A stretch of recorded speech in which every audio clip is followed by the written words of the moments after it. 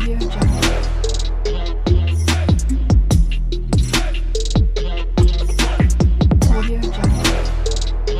ازيكم؟ عاملين إيه يا رب؟ كونوا بخير. النهارده معانا فيديو جديد ومسلسل جديد. اتمنى ان شاء الله ان هو يعجبكم. الفيديو اللي معانا النهارده فيه مجموعة مسلسلات تايلاندية بتحكي عن العلاقات الرومانسية القسرية أو الانتقامية ما بين الأبطال. أتمنى إن شاء الله إن المسلسلات تنال إعجابكم. أول دراما معانا وهي اسمها السماء الزرقاء. بتدور القصة الدراما حول رجل أعمال شاب اسمه بول اللي بيخطط لاستعادة شركة كروان دايموند اللي كانت بتملكها والدته في السابق ومصمم على الانتقام واسترداد كل شيء من والده اللي تخلى عنه هو ووالدته عشان يعيش مع زوجته الجديدة وابنته بالتبني. اللي أخدت كل الحب والاهتمام من والده اللي المفروض يكون له. بيبدأ مشوار بول للانتقام لما بيحاول يكسب ثقة زوجة أبيه. لما بيكسب ثقتها بيكتشف إن كل الأشياء السيئة اللي حصلت في الأسرة كانت بسبب زوجة والده وعشقها وإن ناي اللي هي الابنة بالتبني كانت مجرد ضحية زيه زيها. لأن هو كان ناوي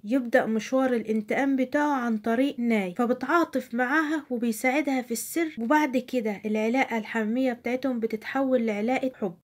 المسلسل التاني اللي معانا اسمه أمواج الحياة. بيحكي عن امرأة مرحة ومجتهدة بتشتغل عارضة أزياء وممثلة مشهورة. اتجوزت والدتها راجل ثري ولكن شخصيته شخصية خبيثة لأنه كان بيشتهي في السر ابنة زوجته. بعد محاولته لتخدير جراوات ما كانت من الفرار بالرياضة بعيد عنه بس لسوء الحظ بسبب إن هي كانت متخدرة جامد. صدمت امرأة شابة على طريق وماتت بعد كده في المستشفى. الفتاة المتوفاة عندها خطيب وهو ساتيت وبيصادف إن ساتيت بيكون محامي وبيتعهد بالانتقام من السيدة اللي قتلت خطيبته. بس لسوء حظه بيستخدم زوج أم جراوات ووالدتها نفوذهم وأموالهم لإخفاء جميع الأدلة وإبعاد الشبهة عنها. بس ساتيت قرر إن هو هيطاردها ويزعجها على طول عشان يقدر يعثر على دليل يثبت فيه إن هي اللي كانت بتسوق السيارة ويثبت إن هي امرأة شريرة ومتلاعبة. لكن في النهاية بيكتشف ساتيت إن هي شخصية طيبة ولطيفة وبيقع في حبها. المسلسل التالت اللي معانا اسمه العدو استقر في قلبه. هو راجل وسيم بس للأسف ماضيه المظلم المظلم ومشاكله بتجبره إن هو يكون مسلح مستقل. وفي يوم بيتم تعاقد معاه لقتل امرأة كان المفروض إن يكون الوظيفة دي بسيطة بالنسبة له. بس للأسف الأمر طلع معقد بسبب حقيقة إن هدفه بيكون سوفيتا وهي بتكون أخت صديقته السابق وده بيترك له خيارين يا إما يقتلها يا إما يحميها. فإيه اللي هيختاره؟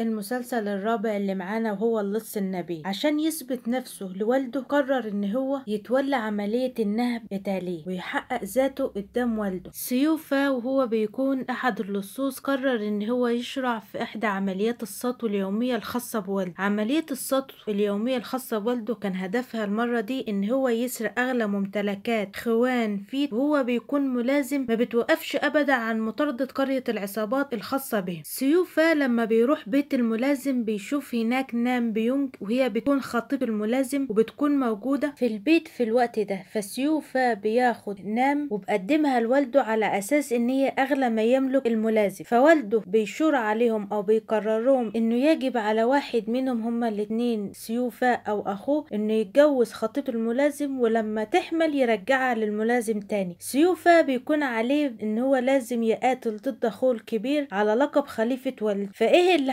هيحصل لما سيوفا يقع في حب زوجته.